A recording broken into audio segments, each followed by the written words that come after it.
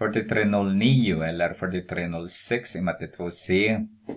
Eh, jo, resultaten på ett högskoleprov är i det närmaste normalfördelade.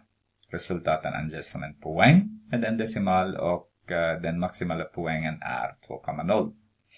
Vid ett provtillfälle var medelpunkten 0,95 så skriver jag här direkt 0,95.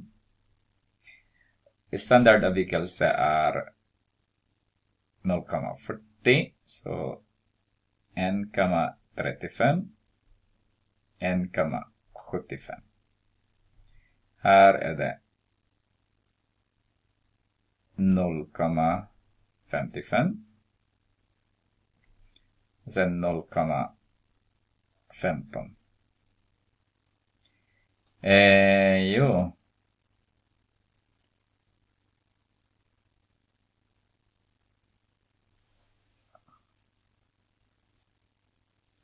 Hur många av eh, 5000 provdeltagare hade ett resultat under eller lika med 1,3?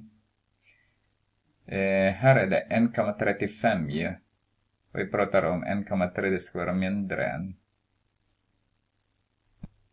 De har använt 1,30, men jag kan inte se 1,30. Eh, vi får se. 0, 95, där har man 0,40, där 1,35. I så fall, okej, okay. vi, vi säger att vi pratar om den här området. Så har vi eh, under, så har vi 100% minus, eh, vad blir det? 13,6 och, eh, och sen så tar jag 2,3 procent.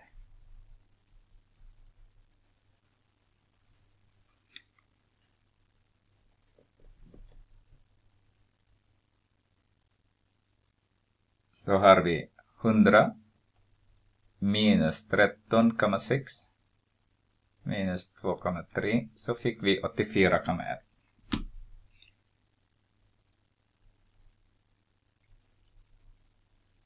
Här är vår A.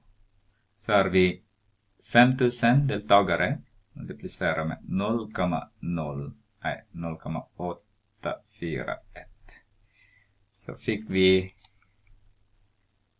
0,841 multiplicerar med 5000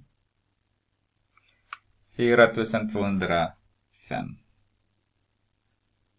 så har vi 4205 det måste vara mindre därför att det är 1,35 vi pratar om här nu. Men de har bara pratat om 1,8. Okej, okay. så över eller lika med 1,8 så gör vi B nu då. Så pratar vi om den här. Och det här bara 2,3 vi pratar om. Så har vi 5000 multiplicerar med 0,07. 23 är lika med.